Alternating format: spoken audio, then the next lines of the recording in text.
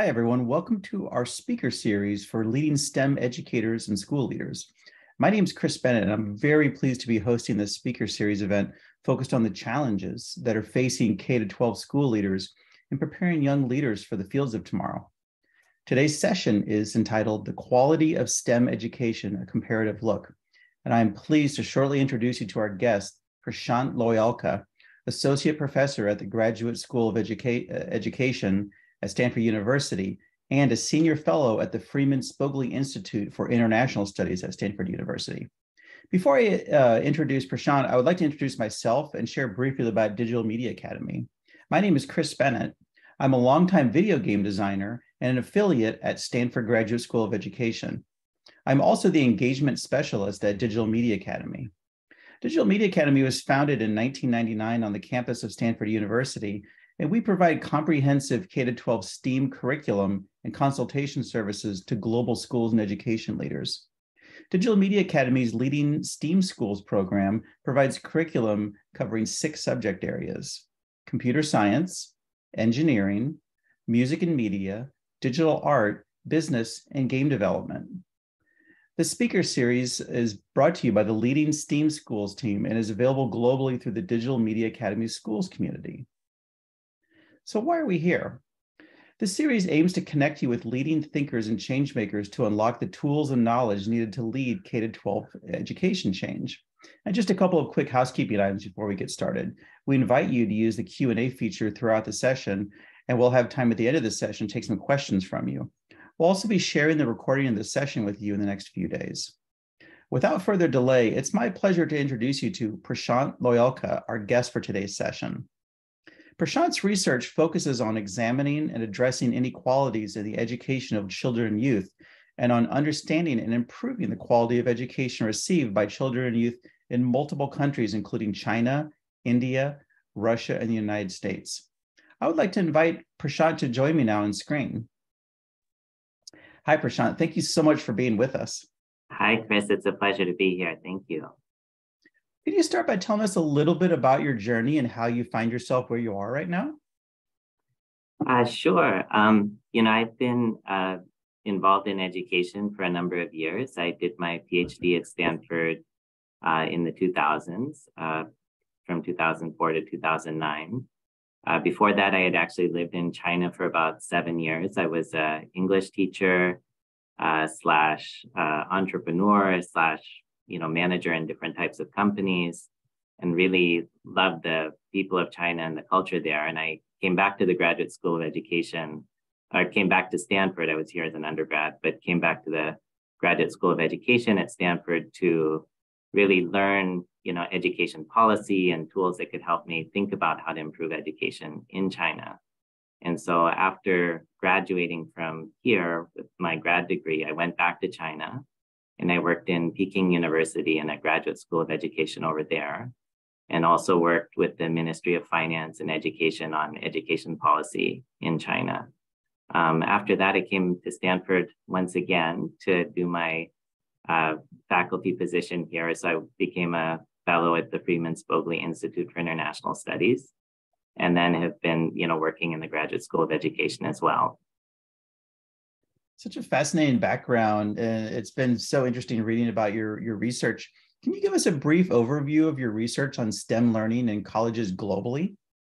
Sure um, so basically i've been involved uh, led a big project uh, that was multinational and assessing and improving skills in college uh, mainly among four major countries china india russia and the united states and just to give a little bit of background, you know, we were trying to answer this important question about what kids were learning during college and what was improving student skills during college. And when we talk about skills, we're really talking about two types. One is academic skills, like we typically hear of things like math and science and language. And major specific skills, you know, like computer science, if you're a computer science major.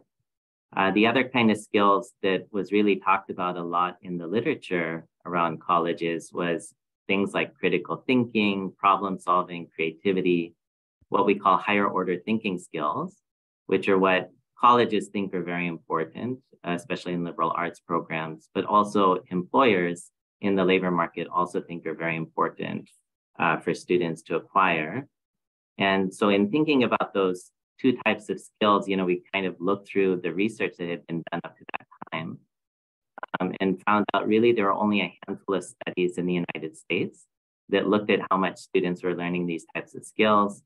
Those studies were relatively small in their scope. They always used kind of a non-representative sample of colleges and students. So we really didn't have a good idea in the United States about what was happening with learning in college. And then when we looked internationally, we saw there were almost no studies internationally.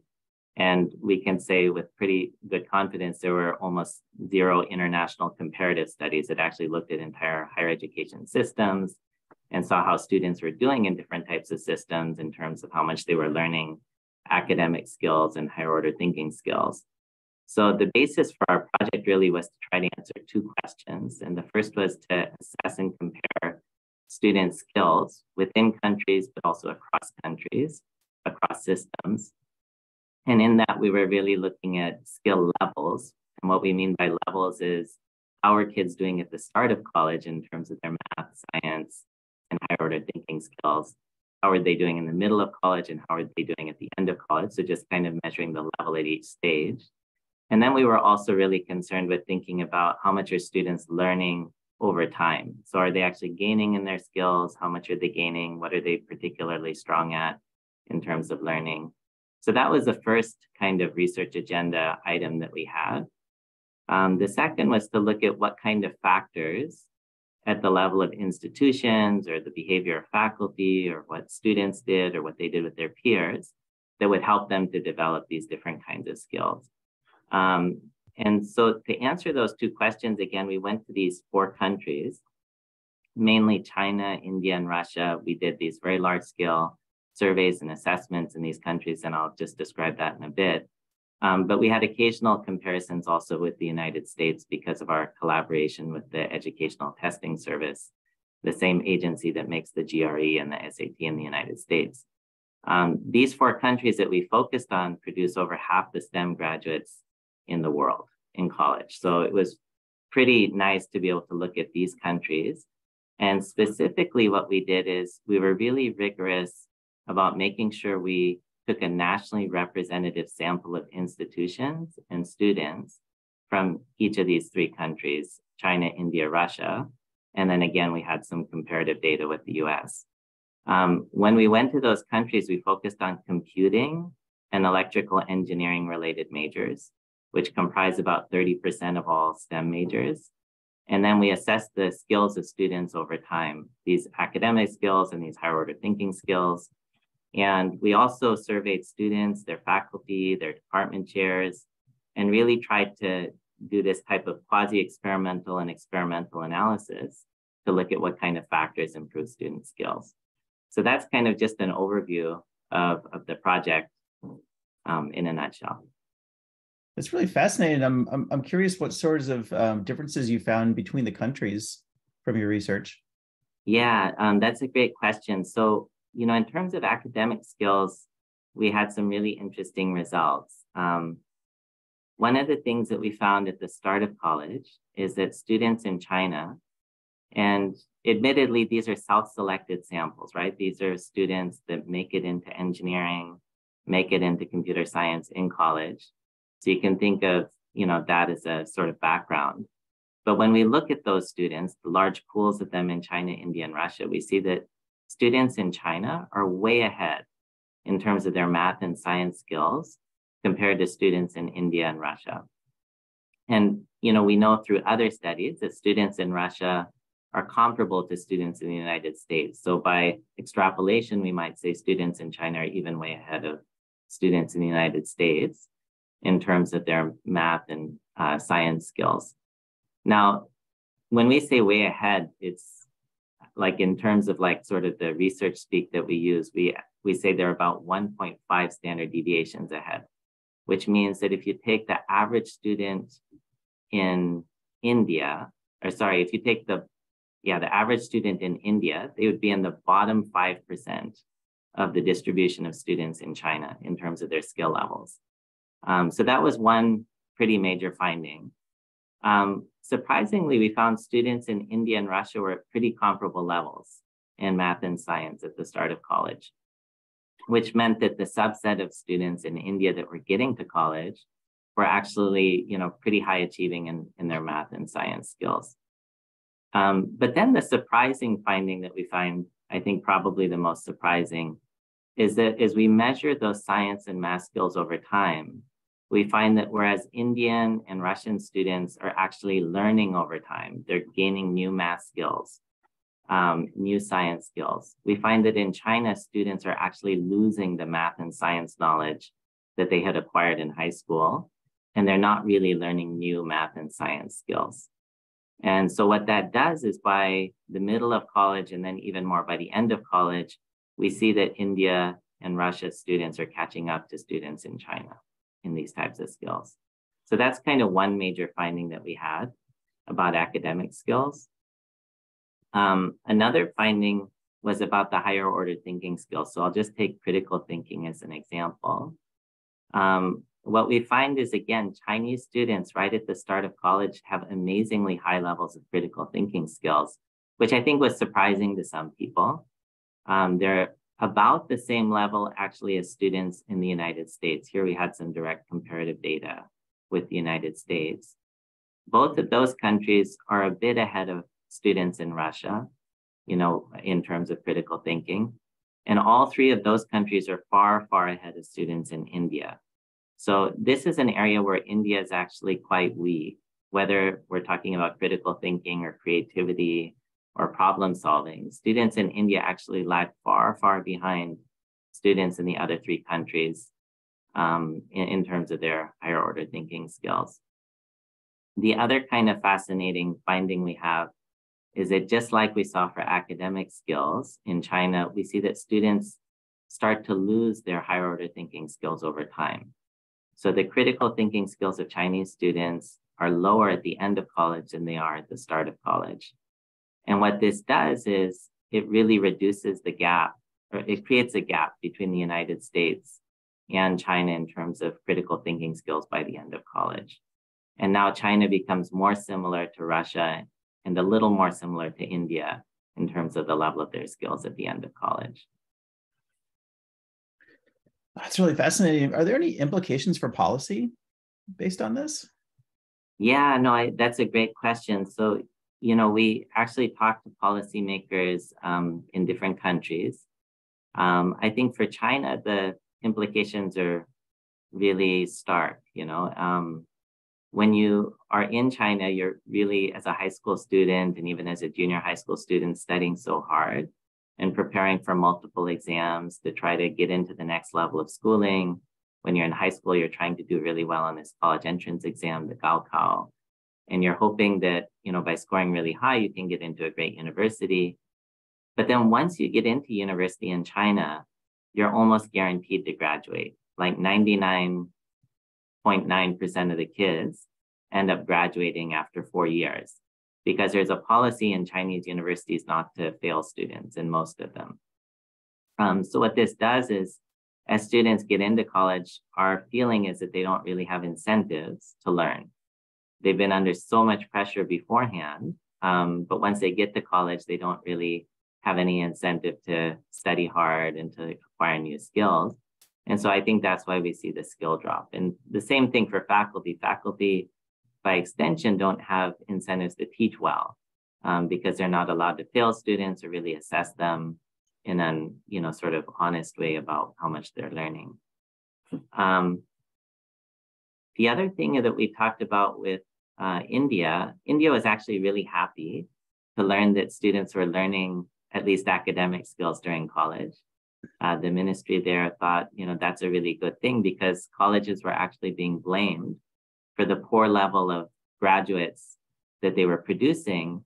Um, so employers were saying, you know, these graduates, they don't have critical thinking skills, they don't have problem solving, their math and science skills maybe aren't what we want either. But what we could show is that any of the kind of deficiency you would see in India was really due to what was happening before college. in their schooling system, like our so-called K through 12 type of system. Um, and they also took note of those really low higher order thinking skills that were coming from the K through 12 system and before. Um, and they really decided, you know, we're going to spend a lot of time on thinking about how to improve skills for kids before they get to college and not put so much pressure on the, the higher education system. Interesting. Thank you for that. Let's go on to a second question. Um, I know we have some good ways to define and measure uh, academic skills, but higher order thinking skills are a little bit new to, to some schools, still trying to figure out that process. What is kind of the best practices of how we define and measure higher order thinking skills like, uh, like critical thinking and creativity?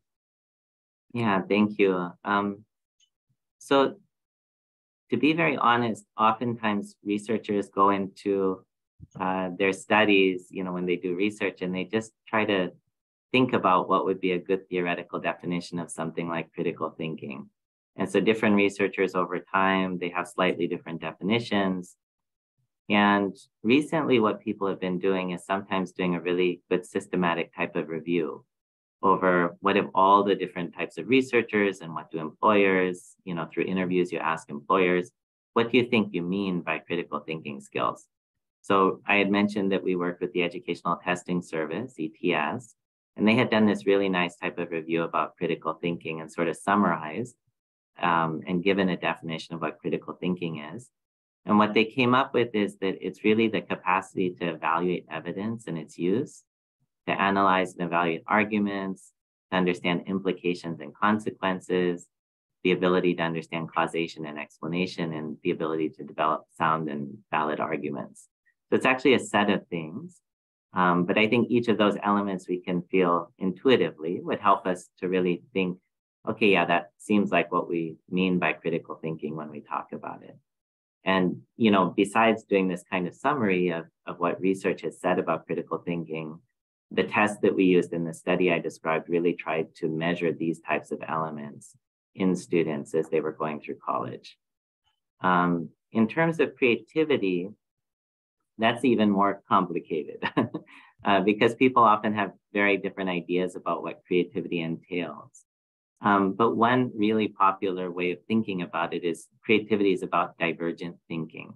You know, how much you can think of kind of valid ideas that are also innovative, innovative and different from other people. Um, and so, you know, our creativity test that we gave to students in these different countries was pretty interesting because we'd give them an object. We'd say, here's like a, a button, you know, that you use to button your shirt with. And we would say, what are alternative uses of the button? And, you know, students would write down within a certain amount of time alternative uses they could think of a button. So it might be like the button could be used as the wheel of a toy car or a frisbee for a little mouse or something like that, just some kind of out of the box ideas. And we took that data from thousands and thousands and thousands of students, and we used machine learning methods and also hand coding methods to try to see, you know, which were valid responses uh, that weren't just, you know, totally ridiculous or nonsensical. And then also we were able to compare students across each other to see how different their ideas were from other students. Um, so that was a measure of sort of originality or what we call divergent thinking. Interesting. I'm thinking about, you know, in K to 12, we're preparing students for higher education, but we're also preparing them for employment later in life. And I'm not sure that if you saw this at all, but did you see any differences per country in how employers would define critical thinking or creativity or have ideas about what, what's more valuable than others, or was it kind of set between countries? You know, I think there's not enough um, research into that. I know what I can say is that employers in different countries really do care about critical thinking and problem solving. I don't know if anybody's gone into great depth about how there are differences in definitions across countries. Um, but it would be a good exercise because I think a lot of times, you know, being having been an employer myself, I think when we say these words, um, we actually don't think about what their definitions are. We assume that everybody knows what we mean when we say critical thinking or creativity. Um, but it would be a good exercise even for employers themselves to reflect on, you know, what do I mean by that? That's an interesting one because when we think about reading or we think about arithmetic, there's there are good rubrics that we can lean on for that. And I feel like um, we don't have a really good set of rubrics that we can lean on yet for some of these for some of these um, higher order thinking skills. Yeah, that's for sure. I think we don't really know very much, um, either in schooling, K through 12, or in college, about how to improve critical thinking, how to improve creativity. I know there's, you know, some very basic efforts. Uh, the OECD had been working on an effort just to measure creativity and to measure critical thinking. Um, they'd also been asking teachers, you know, in different places all over the world, you know, like how, how would you teach to this type of concept, to this type of skill? Um, and I, I think right now we don't really have a consensus on what would be a curriculum that would really help students to, to learn these things. Thank you. Um, next question is, what do we know about what improves higher order thinking skills? Yeah, I, like I said, I think we don't have really a very good understanding of that. Um, there's been a little bit of discussion in the United States um, around the idea of active learning, uh, which is instead of the traditional lecture format where students kind of listen passively, uh, that would be called passive learning, right? That you introduce a greater kind of dynamic into the classroom, either by having more projects where students work in teams, by having more of a dialogue that is question based between the faculty member and the students. So, so those are different, you know, things that are all lumped together as active learning. Um, flipped classrooms are another example of active learning. And so there's a little bit of evidence that says that active learning in colleges in the United States in STEM majors can improve academic skills. And there's also some idea that it might improve some higher order conceptual understanding of certain science concepts. Um, but I would say that, you know, probably that's the main thrust of what researchers have been looking at. And outside of that, there's not a lot of great research that's rigorous about what can actually improve higher order thinking skills. Interesting. I, know from um, the work that I've done that active learning versus passive learning and flipped classrooms can help um, improve engagement in students. And so it's mm. good to hear that that even if there's not a direct connection, some that may be translating to thinking about things, um, growth mindset, um, higher order thinking. What do you think are the, the growth opportunities here? What do you knowing that there's not a lot of research, what sort of research would you like to see around this that would be so helpful for schools? Yeah, I mean, I'd like to see that um, we could really start to have large scale randomized evaluations around curriculum that would try to expressly improve these types of skills. Um, I, I, think you know we could do even more research on active learning, uh, for example, but maybe define active learning much more clearly um, maybe break it up into sort of different categories like, you know, project-based learning, even within project-based learning to break it up. Um, but also it would be neat to have curriculum that really tried to teach students critical thinking. Um, you know, what would a curriculum like that look like? What would a creativity curriculum look like? How would we integrate that into the normal classroom as well?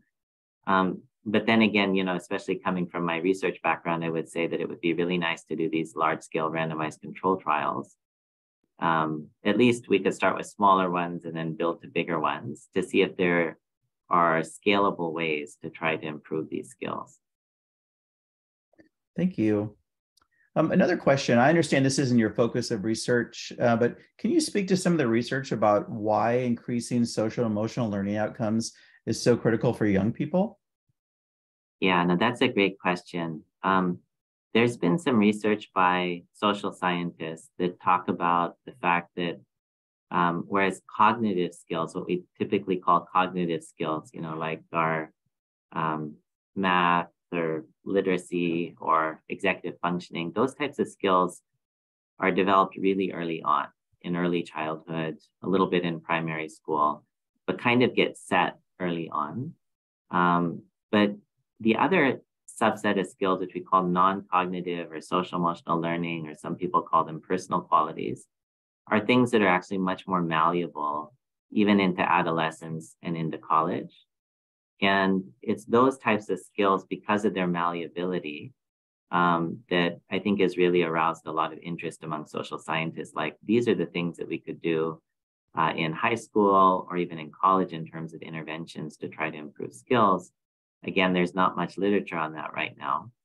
Um, so one thing is the malleability, but the other part is there have been economists that have correlated the learning of these non-cognitive skills, these social emotional learning skills with employment outcomes. So um, over decades, what we can really see is that as time goes on, cognitive skills, while important, are becoming less important relative to non-cognitive skills. So things like my ability to work in a team, which is a really important social skill, is something that as I develop it, I'm more likely to get a better job more likely to be employed and more likely to have a higher salary. And that's a like really clear trend that we can see in the economy.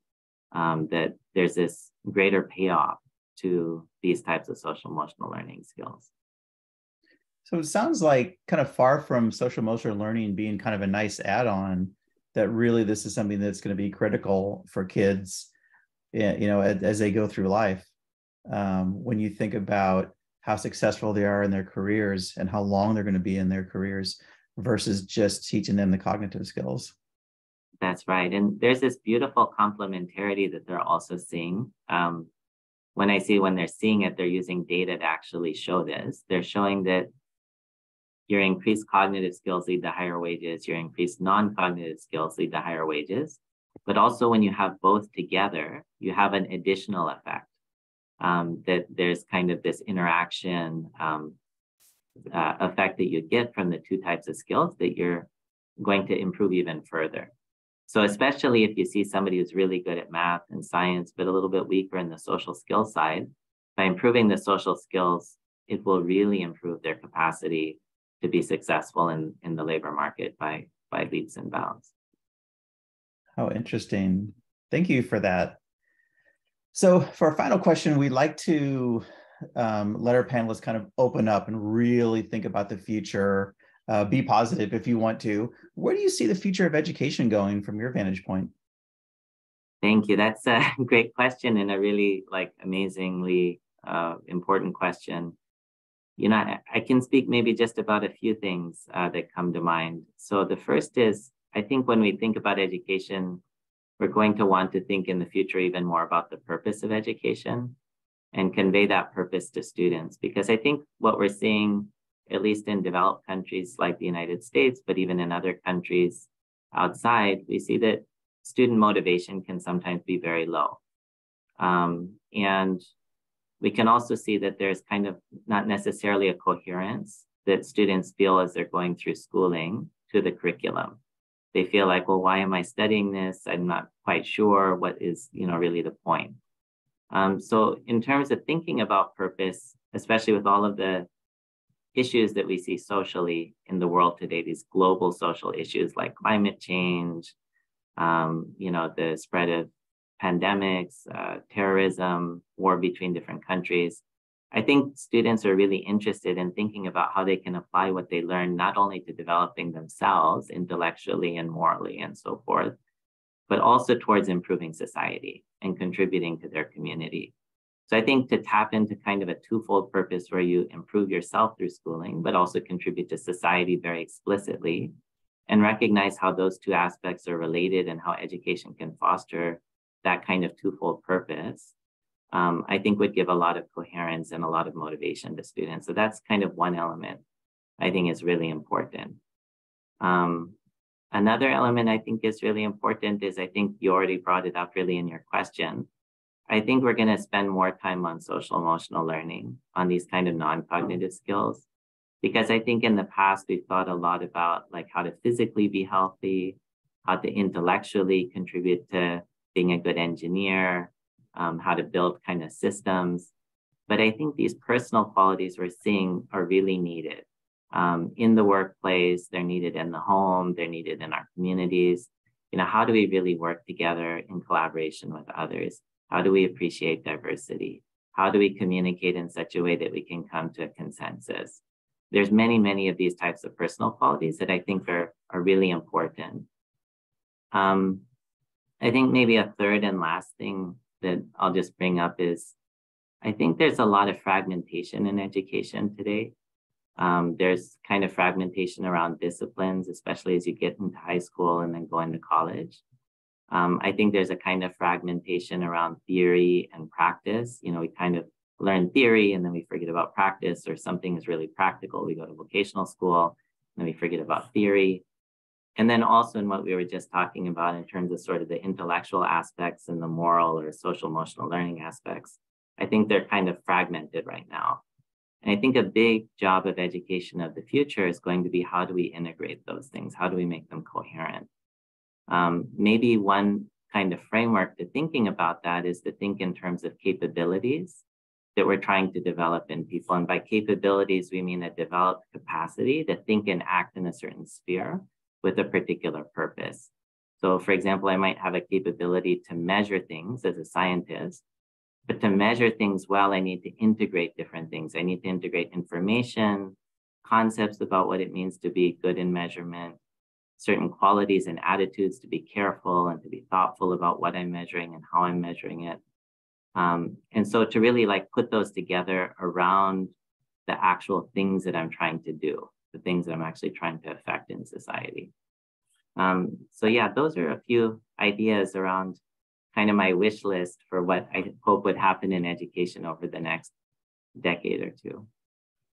That's great. Thank you for that. Um, I think your first and your third points really made me think about. I like to think in in terms of engagement loops and what keeps people kind of moving in a direction, and thinking about um, the purpose of education, letting students know what they're learning and why, but also that offshoot of making the world a better place and helping to develop capacity really makes me think about developing higher order thinking skills because um, I've seen instances of flipped classrooms where students are actually invited to help create their own framework and their own rubrics for class.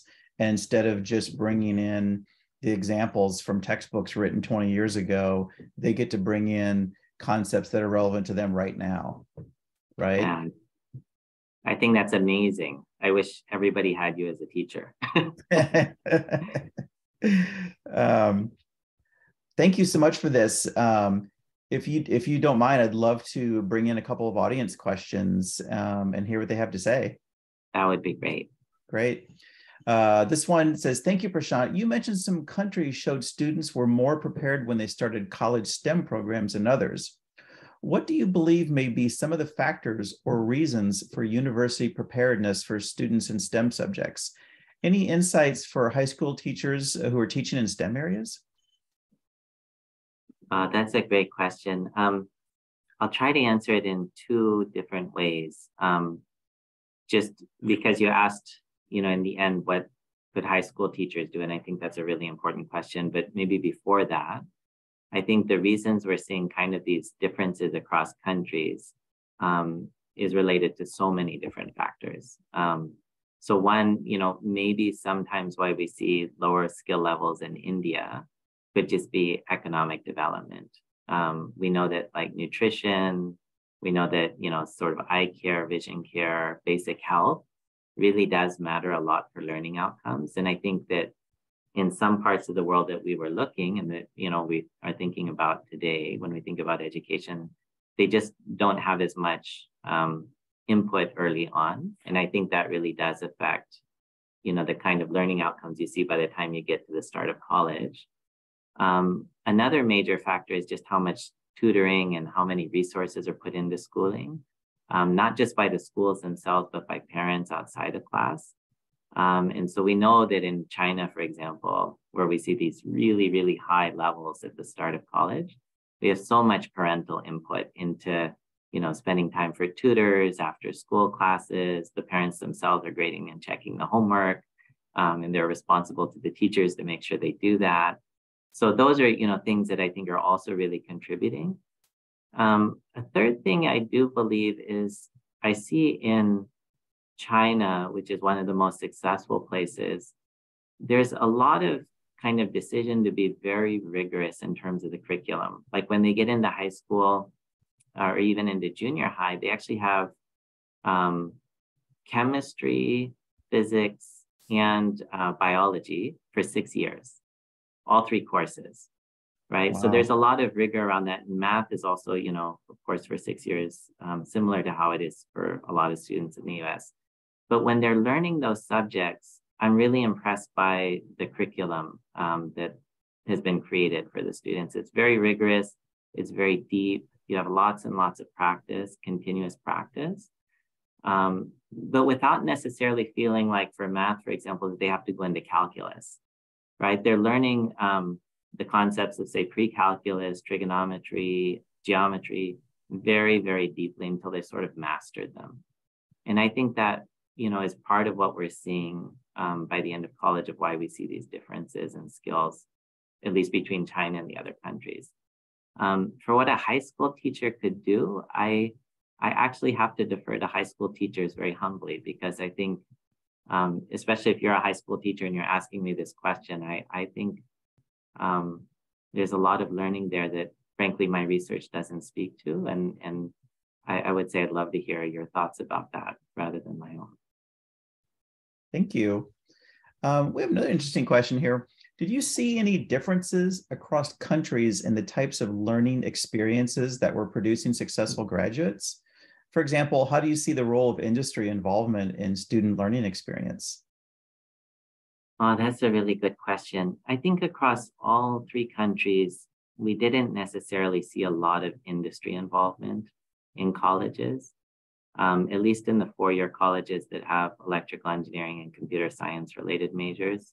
I mean, occasionally we'd go to a college and um, you know, they would have a program that was associated with a particular company and they would try to produce graduates to work in that company. But honestly, those weren't usually the top institutions. And even among the second tier institutions, we didn't see too much of that. Um, but maybe one, one or two system wide things that we saw um, that I think were there in India and in Russia is that we did see um, that there was occasional like assessment and testing um, that was happening in those countries in college um, that was kind of impelling students to have to put in more effort and take their studies seriously.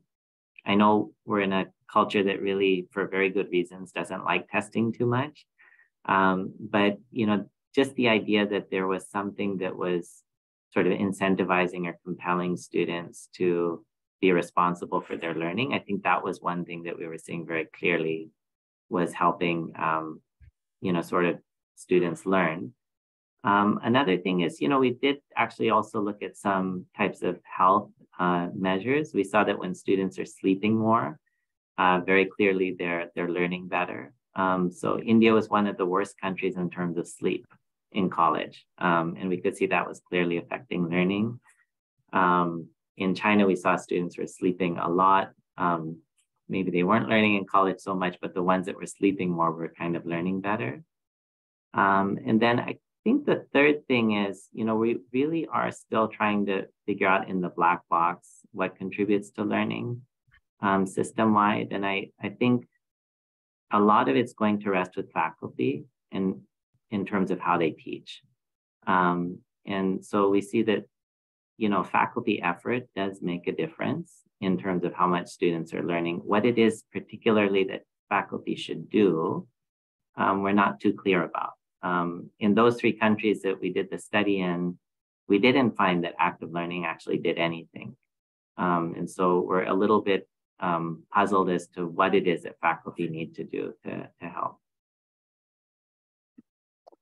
Interesting um, the sleep part is such a such a critical one. Um, I have a middle schooler, and she's dealing with with the, the kind of schedules that you have, and and get up early, and already running into some of the sleep issues. So I'm glad that you brought that up. Um, we have another question here. This is definitely a tough one. Um, how does education keep up with the pace of changes in technology and STEM subjects, whether in college or across the full education spectrum, I am a high school leader, and this is a huge challenge for us. Yeah, and I think um, education always seems to be a bit behind, you know, in keeping up with technology. Um, this is despite our best efforts. Um, you know, that's a good question. I think this is my maybe ignorance, but I feel like in high school, um, at least at most high schools, what we're really teaching are these kind of fundamentals in math and science. Um, I think that's one reason why China again does so well because they're really good at teaching those fundamentals. Um, and maybe leaving, you know, some of the kind of newer topics uh, where technology has influence to colleges and not maybe making it, you know, as much about uh, what we have to be concerned with in high school, except for what I think a lot of high school uh, leaders that are really at the kind of forefront do, which is to give a lot of freedom to students to, you know, do projects and explore and sort of themselves, you know, think of, you know, I see all these robotics classes and all of these, you know, challenges to like make an excellent documentary or, you know, to really like think of, you know, ways of changing society through um, the talents and skills that they're learning. That might be a way of kind of incorporating the changes in technology into the learning process. Because I think students usually we find they're maybe more adept than we are at the latest technology. um, in terms of like thinking about the use of education technology itself, that's another area of my research. Um, I know that's an area of Chris's research as well. Um, but in the large scale randomized trials that we've been doing in different countries, I think it's really a mixed bag to know whether or not to kind of bring in computer assisted learning or these things called adaptive learning or these tools of technology to help improve education in the classroom. Um, we're finding a lot of things just don't work. Um, and so I wouldn't feel a pressure necessarily to bring technology of you know certain types of tools into the classroom. I didn't know if that was part of the question. I just wanted to mention.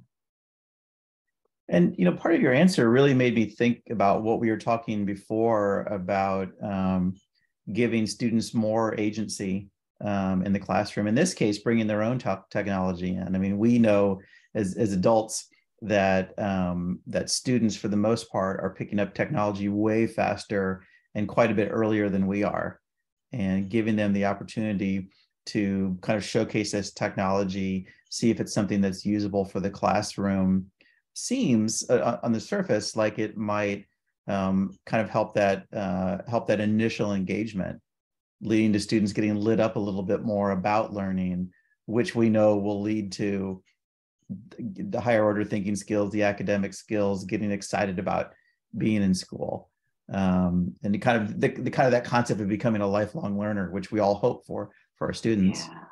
Now that's a great point and really important to mention. I think there's a certain exposure to technology and science um, in terms of like the cutting edge, the innovative things that are happening in the world that students do need. Um, and I think the more they can think about science and technology in relation to these big social issues, these global social issues that we were talking about, I think the more that, you know, that can also uh, interest students and really get them motivated to want to think about science and technology in that integrated way. Thank you. Um, this is a good question. What is your opinion of the IB or International Baccalaureate? We teach the PYP, which is the primary years program, where we integrate STEAM and units are inquiry based, where the focus is on rubrics and the students co create rubrics. Any opinions there? You know, I, I don't know enough about the system that you use about IB. I, you know, I can only speak anecdotally, really. I have known, you know, students that have graduated from the IB programs. I think they get a really great education. Um, it's really rigorous and thorough. Um, so I don't have anything bad to say about it. Um, it could be that there are much better, obviously, curriculum and systems out there. Maybe yours is one of those.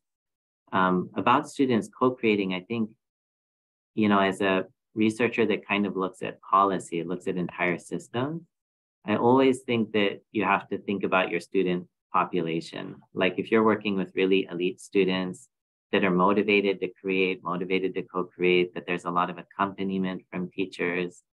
I think that's all great. You know, I think that that can really help students to become even more proactive and agents of their own learning. Um, they can really help them be creative and critical as well, as long as they're receiving feedback from the teachers. Um, but I think for a large population of students, and that may not be who you're, you know, dealing with, um, that are kind of lower achieving or struggle with motivation, that kind of co-creation may not obviously be the the thing that they kind of need as their next step. Um, we're getting close to time, but I want to squeeze in one more quick question because I'm just curious about where your research is taking you now. You've talked about where it's been. What are you kind of excited about in the next year, two years, three years? Uh, thank you, Chris. That's a great question. Um, you know, I'm really interested in what we were talking about, these kind of personal qualities or social emotional learning, uh, especially for youth. Um, and so, again, I think we have all of these global challenges. And uh, one of our projects that we have in the field right now, for example, is about uh, online misinformation and how students sort of navigate that on social media, on the internet.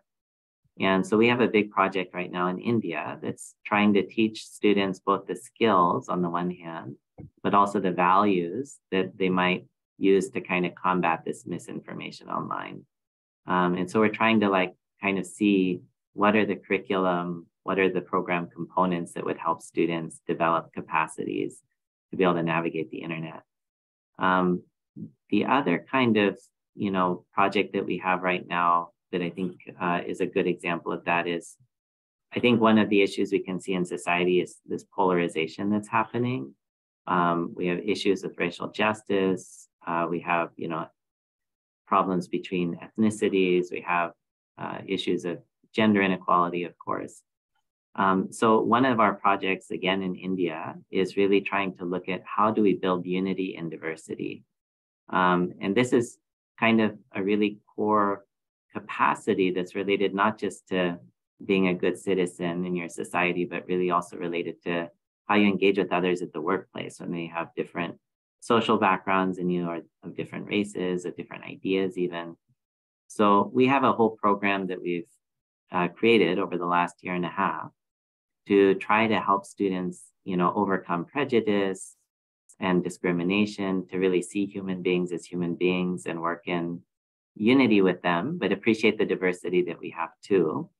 Um, and also, you know, sort of another component to think about what does it mean to really collaborate and cooperate with people and how to instill those qualities into youth. Um, it's these kinds of kind of non-traditional educational pathways and outcomes that I think I'm really most interested in in my research because I think we always imagine that education by default somehow solves these problems that gives us these capacities.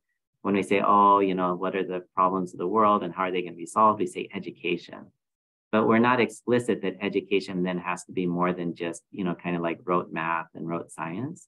It really has to see human beings the youth that we're dealing with as being really capable um, people who can be the resources and the talent and the agents of that change that we want to see in society. So, what is the education that we have to have to kind of bring out their good qualities so that they want to make that uh, change? Thank you for ending on a note that's so inspiring and positive. I'm I'm super excited about the the youth of today and what they're going to create as well. Uh, we've come to the end of our available time today. I wanted to thank you so much for sharing your own expertise with us. Um, I also want to thank again Digital Media Academy for sponsoring this series. You can find out more about Digital Academy for Schools program on the website at digitalmediaacademy.org forward slash schools or contact us anytime at info at digitalmediaacademy.org. On behalf of Digital Media Academy, I'm Chris Bennett. I want to thank everyone who's able to join us today for this session and wish you a fantastic rest of the day. Take care. Thank you so much. Thank you, Chris. Thank you, everyone.